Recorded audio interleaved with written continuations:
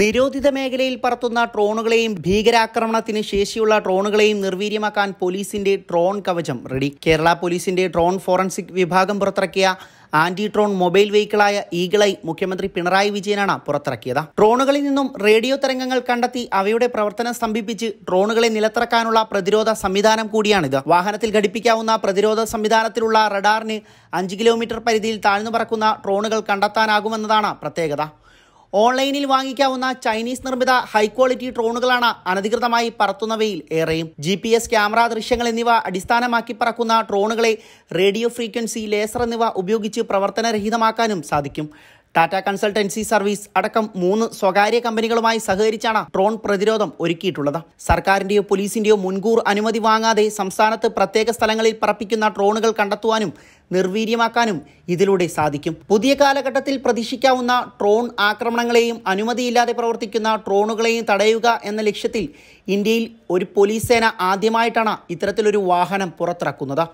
ആക്രമണങ്ങൾക്കും അനുമതിയില്ലാതെ പ്രവർത്തിക്കുന്ന ഡ്രോണുകളെ കണ്ടെത്തി അതിനെ നിർവീര്യമാക്കി പിടിച്ചെടുക്കുകയാണ് ആന്റി ഡ്രോൺ സിസ്റ്റത്തിന്റെ പ്രത്യേകത. സംശയകരമായ ഡ്രോണുകൾ നിലത്തിറക്കിയ ശേഷം വിദഗ്ധ പരിശോധന നടത്താൻ ഡ്രോൺ ഫോറൻസിക് ലാബ് തിരുവനന്തപുരത്ത് സജ്ജമാക്കിയിട്ടുണ്ട്. മൊബൈലിന്റെ I M E I number പോലെ ഡ്രോണിനും തിരിച്ചറിയൽ നമ്പരുണ്ട്. എവിടെയാണ് നിർമ്മിച്ചതെന്ന് അടക്കം വിവരങ്ങൾ ലഭ്യമാകും. എവിടെ നിന്ന് ആരാണ് പറത്തിയതെന്ന് കണ്ടെത്താനുള്ള ഉപകരണങ്ങളും ലാബിനായി വാങ്ങുന്നുണ്ട്. തിരുവനന്തപുരം വിമാനത്താവളത്തിന് തൊട്ടടുത്തായി രണ്ട് വട്ടം മുമ്പ് ഡ്രോണുകൾ പറത്തിയിരുന്നു. രാത്രി കാഴ്ചയുള്ള ക്യാമറകൾ ഘടിപ്പിക്കാവുന്ന ഡ്രോണിന് രണ്ട് കിലോഗ്രാമിലേറെയും ഭാരമുണ്ടാകും. ഡ്രോണുകളുമായി കൂട്ടിയിടിച്ചാൽ വിമാനത്തിന് തീപിടിച്ചേക്കാം വിമാനത്തിന്റെ നിയന്ത്രണം തെറ്റുകയും ചെയ്യും. താഴ്ന്നു പറക്കുന്ന ഇവ വിമാനത്താവളത്തിലെ റഡാറിൽ പലപ്പോഴും പെടാറില്ല. എൺപതിനായിരം രൂപയ്ക്ക് ഒരു കിലോഗ്രാം ഭാരം വഹിക്കാവുന്ന ക്യാമറയുള്ള ഡ്രോണുകളും ലഭിക്കും. ഇതിന് ഒരു കിലോയിലേറെ ബോംബ് വഹിക്കാനും ശേഷിയുണ്ട്. ഭീകര സംഘടനകൾ ഇത്തരം ആക്രമണങ്ങൾ നടത്തുന്നുണ്ട് എന്ന് മുൻപ് സൂചനകൾ ലഭിച്ചിട്ടുണ്ട്. ഡ്രോണുകൾ ആക്രമണത്തിന് ഉപയോഗിക്കുന്ന പശ്ചാത്തലത്തിൽ വിമാനത്താവള സുരക്ഷയ്ക്കും പ്രതിരോധ സംവിധാനം ഉപയോഗിക്കാൻ സാധിക്കും. സംസ്ഥാനത്തെ തന്ത്രപ്രധാന മേഖലകളിൽ രണ്ട് കിലോമീറ്റർ ചുറ്റളവിൽ ഡ്രോൺ പറപ്പിക്കുന്നതിന് നിരോധനം ഏർപ്പെടുത്തിയിട്ടുള്ളതാണ്. നേരത്തെ അഞ്ഞൂറ് മീറ്റർ ആയിരുന്നത് ഇപ്പോൾ രണ്ട് കിലോമീറ്റർ ആയിട്ടാണ് വർദ്ധിപ്പിച്ചിരിക്കുന്നത്.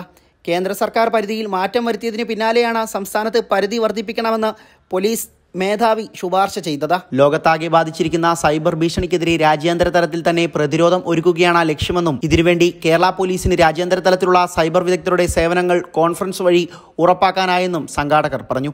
രണ്ട് ദിവസങ്ങളായി നടന്ന കോൺഫറൻസിന്റെ സമാപന സമ്മേളനം നടൻ മമ്മൂട്ടിയാണ് ഉദ്ഘാടനം ചെയ്തത്. ടെക്നോളജിയും സൈബർ കുറ്റകൃത്യങ്ങളും സമാന്തരമായി വളരുകയാണ്. ലോകം മുഴുവൻ സൈബർ കുറ്റകൃത്യങ്ങൾ കാരണം ബുദ്ധിമുട്ടുകയാണ്. സൈബർ കുറ്റകൃത്യങ്ങളെക്കുറിച്ച് എല്ലാവർക്കും അവബോധം ആവശ്യമാണെന്നും ലോകം വെർച്ചിലേക്ക് മാറുന്ന ഘട്ടത്തിലൂടെയാണ് കടന്നുപോകുന്നതെന്നും ഉദ്ഘാടന പ്രസംഗത്തിൽ നടൻ മമ്മൂട്ടി പറഞ്ഞു. D G P Anilkant I P S conference round up വിശദീകരിച്ചു.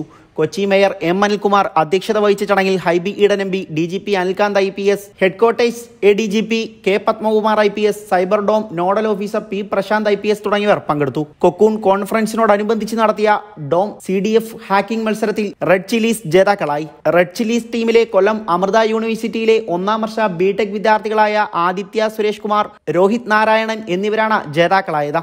ഒരു ലക്ഷം രൂപയാണ് ഇവർക്ക് ലഭിച്ചത്. എഴുപത്തിരണ്ട് ടീമുകൾ പങ്കെടുത്ത മത്സരത്തിൽ പ്രജ്വൽ സി പി അഖിൽ മേനോൻ എന്നിവരുടെ ടീമായ പ്രയാഗ് രണ്ടാം സ്ഥാനവും ആദിത്യ കെ നബീൽ നവാബ് എന്നിവരുടെ ടീമായ സീറ്റയും മൂന്നാം സ്ഥാനത്തെത്തി.